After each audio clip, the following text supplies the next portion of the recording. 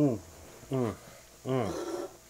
Hello. How are you? So the other day I installed my faces for the cabinets, kitchen cabinets. I did the one inch square box tubing. So now that the metal trim is on my kitchen cabinets, I'm basically ready for a countertop. But there's one thing I need to do before I do that, and that's my backsplash. I want my backsplash to run down behind the countertop so the countertop will run into it. So in this video we're going to be doing some arts and craftsy type stuff for a backsplash. It's going to be pretty unique, I think. I'm going to be doing all this work out in the shop, and then I'll bring the finished pieces in and install them. But first thing I did was just measure this space, measure my outlet, measure this outlet. The backsplash is going to run all the way across to here. Can you see this point? Yeah. It's going to run all the way to here, and it'll be right here, and it'll probably stop right here. I took extremely detailed measurements, and I'm going to cut the pieces, and I'm going to come and test fit them, and then I'm going to go and finish them. It's a tiny kitchen. It's a tiny house. Shut your mouth. So what I'm going to be using for my backsplash is uh, 16th inch steel. It's not 16th inch. I think it's like a gauge. I think that's 14, maybe 12 gauge. Not sure. Pretty heavy, but I'm only using a little bit of this sheet. I did buy a 4x8 sheet. I've already cut out one piece. I'm going to do that other smaller piece right now. I'm going to mark it out with a black Sharpie and a uh, straight edge and stuff like that. And I'll be cutting it with a angle grinder with a metal cutting disc on it. Pretty simple stuff. Lots of sparks. I did buy safety equipment though. Sweet. Look at this. We are safetying it. Oh, I'm excited about safety. The other day I got a chunk of metal in my eye. Uh, I know I deserve it. A lot of you have always commented you need safety glasses, but I got a chunk of metal I blinked right before it hit my my eye part, the cornea, but it ended up getting pinched in between my two flappers and it burnt the top and the bottom and it sucked. It was only like two or three days of discomfort, but safetying. God almighty. So I already cut that one piece and if I miscut that piece by a little bit and then I cut the other piece, which I want to use that corner to have some straight edges on that piece, and I screwed up on that one, I won't be able to cut another one of those. So what I'm going to do is go and test that one real quick. If it fits, then I'm going to come back and I'm going to cut that smaller one. If I screw up on that, I'll be able to cut up another, I'll be able to cut another one here. So I don't want to I don't want to screw myself since it's it's not cheap.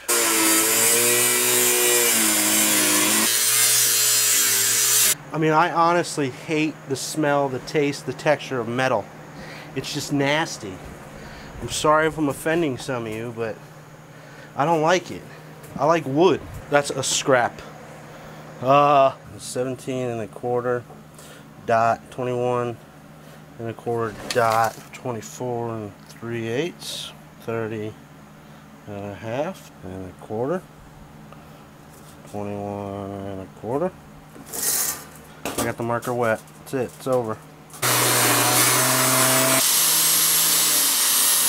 So here is where the arts and craftsy starts. So I don't want to make this metal look like the rest of the metal in the house. I feel like it's just too much of a spot to have that type of like a black finish on it. So I was thinking of making it rust, like a rusty metal, and then I'll trim everything out with the black. I think it'll be a good contrast. I believe what's on this is called scale. I could be wrong, but it's there's almost like there's something, a film on top of the metal that you need to remove to make it rust. Uh, I did cut a little piece and I wire brushed one and then I angle grinded the other side of it and I put water on it. The side that I did the angle grinding on got more rust than the other one. But I don't like the finish that it leaves underneath the rust. So I want to, I don't want to mess with this, this metal. I just want to take that off. So I could sandblast it, but it's going to give it a different texture that I don't want. So one of my Patreon supporters told me about muric acid. If you're not one of my Patreon supporters, the link's always in the top of the description. Just check it out. Dollar a month. It'd be great. I'd appreciate it. But they said use muric acid. Muric acid is for uh, is for concrete and masonry, removing mortar from bricks. It's I don't know what it is. Wear chemical resistance gloves, chemical splash goggles. Oh, this stuff's bad. It's bad. And then to make it rust, I read on Google you use hydrogen peroxide and salt but then I also read somewhere something about some vinegar. But I also watched Wranglerstar's video the other day, and he used vinegar to take rust off a piece of wood or a piece of uh, a metal. He did an axe handle and a planer. It's going to be a little trial and error here, but I'm, I'm pretty sure from what I googled, Google was Google is never wrong. Now this stuff is no joke. I'm scared of this stuff. I don't know what it is going to do. Obviously, you want to wear all safety precautions, rubber gloves, eye protection. I'm just going to wear ear protection from all the haters. I just don't want to end up with hands that look like Marty Rainey's. My resume, I'll show it to you right now. I don't want my resume to to read stupid. Don't do that. Don't sniff that. That will kill you. Peanut, go outside and play in traffic. Okay, I will do that. Peanut, don't really do that, please. Oh, God. What am I doing? Let's see what this does. Oh, it smells chemically. It smells like sulfur. He's right. Look at it. It's taking it off. Wow, that stuff's toxic stinking. My God. So instead of getting a sandblaster, you could use, it's so hard for me to say, muriatic acid. I have to read it to say it. My man, where were you three weeks ago? That's cool. So I like how it took off the uh, the scale on the, the metals. So what I'm going to do is clean the actual backsplash with some uh, lacquer thinner or mineral spirit, get the oil and grease off of it. And then I'm going to soak them with the uh, muriatic acid. And then we'll figure out how to clean it because that was kind of hard to clean. But I think maybe this will work. But we'll see. We'll keep trying. So just a little lacquer thinner.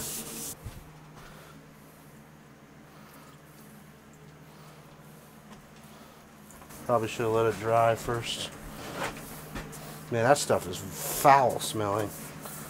I might have to do that a couple times. I mean, I need to leave that fan on because there's some toxic shit happening here, that's for sure. So this took about two hours to get the uh, the scale off.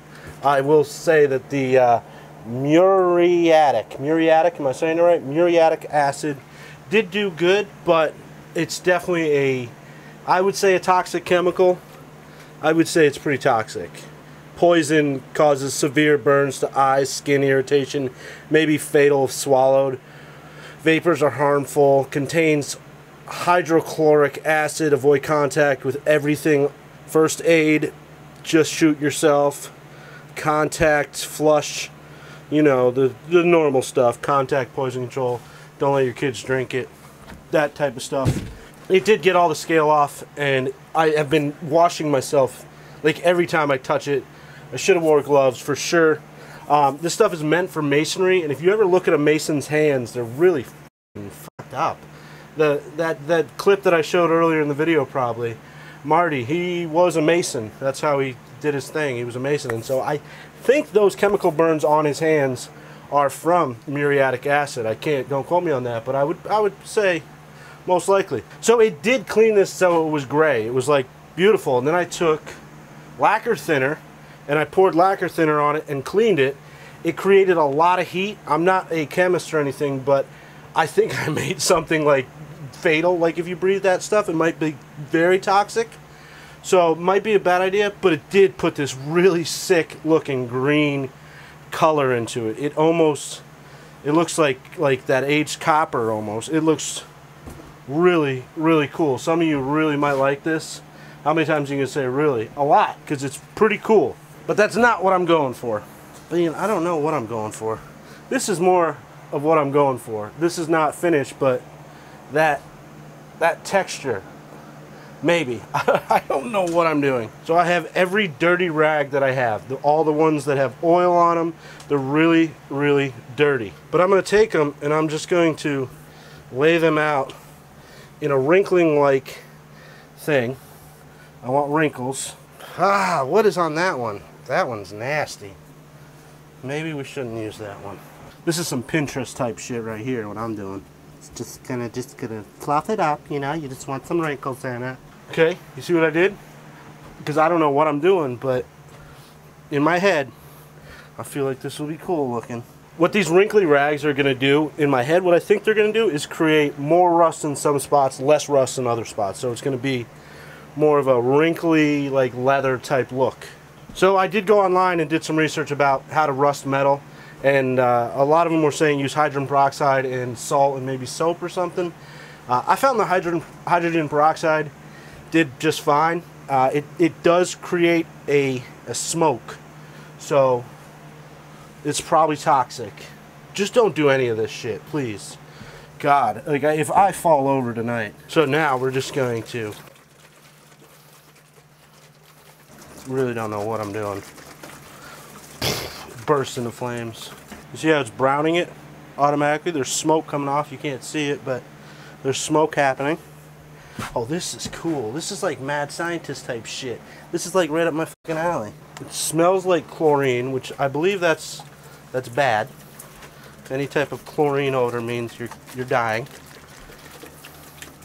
Well, building this house has definitely knocked 10, 20 years off my life, that's for sure. You're crazy. okay, you're on drugs. I'm gonna let it sit for I don't know. So it's been about 20 minutes. I've been checking it every once in a while. I lift it up, and I think it's pretty, maybe cool. I don't know. I'm gonna take them all off and see what we're what we're working with here.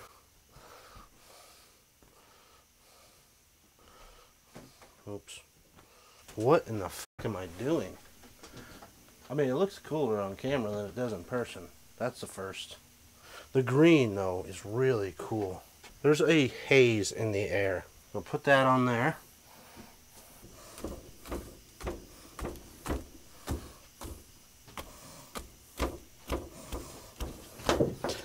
I think my art teacher would be so proud of me. You know, art was the only class that I ever got an award in. I did really like geometry, but my geometry teacher in high school was probably the worst teacher I ever had in my life. Oh, he was horrible. I didn't use salt. All I did was use hydrogen peroxide to get it to rust. You're getting woozy, man. It looks alright, right? I think it does. I think that was what I was going for. Maybe.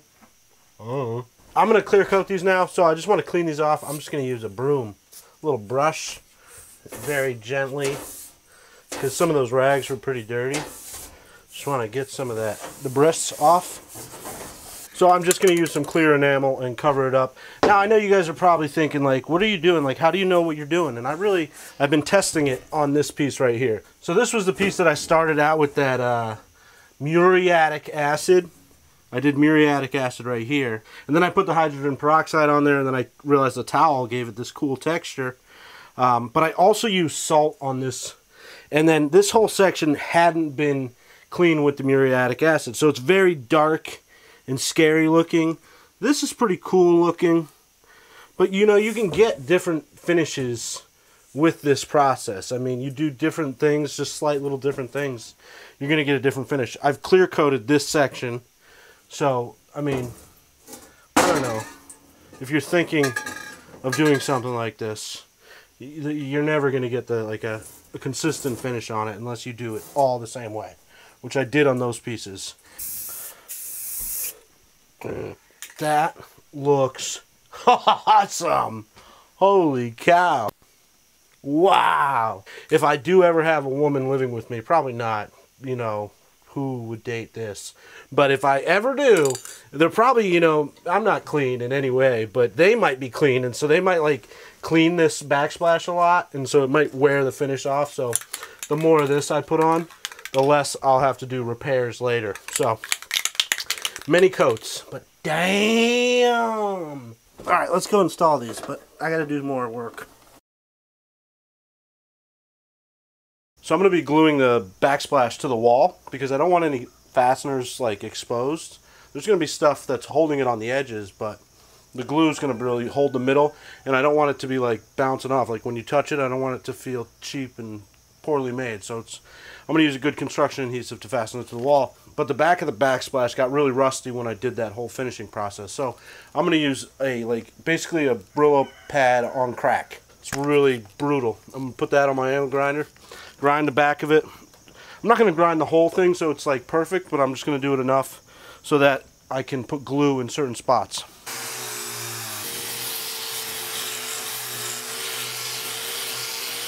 Oh God. So I'm using a little PL construction adhesive. This is good for metal to wood. It's good for a lot of different things, but it'll work for me.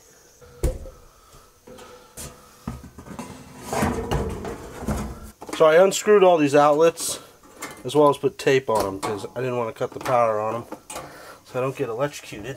It's the wrong thing. You are not prepared. Negative 10 points.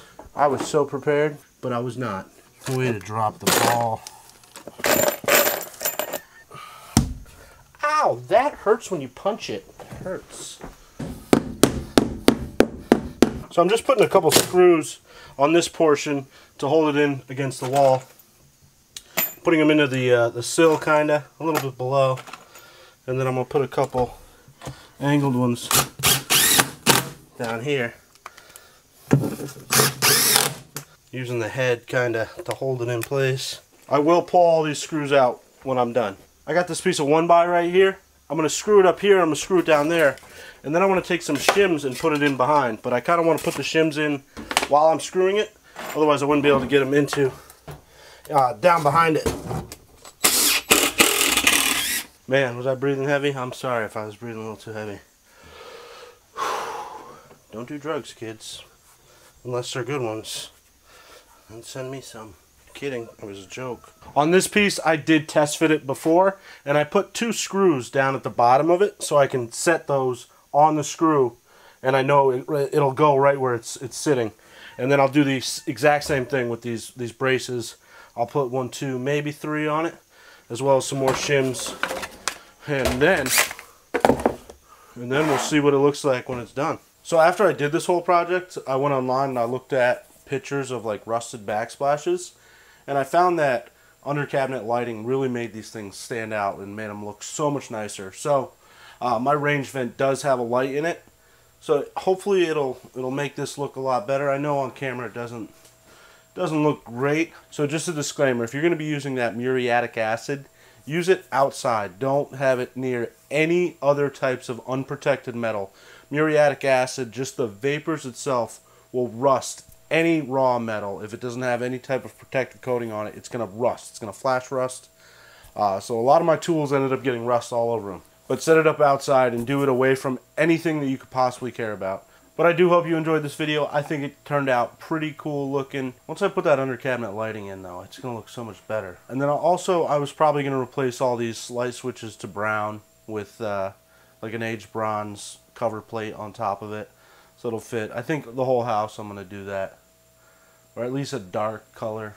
Because, yeah, probably. I don't know. We'll see. But thanks so much for watching. If you're new to my channel, make sure you hit that subscribe button. If you like what you saw, make sure you hit that thumbs up if you really like my videos, if you're part of that 1,000, 2,000 people that watch my videos on a regular basis, turn on that uh, notification button so you'll get notified. It's right next to the subscribe button. There's a little bell. Just click on that. You'll get notified by email. So I, I get texts, not texts, but like the app will, will tell me that somebody posted a video that I get notified for. I follow about six or seven people that I get that for. So check that out. Uh, check me out on Patreon if you want to help support this channel and I will see you next week. Why weren't you in the video? Listen, dude, just because you were trying to kill yourself with all them chemicals doesn't mean I wanted to go with you. Bennett, you don't want to be in the video? I need you to be in the video. No, I don't want to be in the video. Bennett, come back. Well, thank you for watching, though. Goodbye.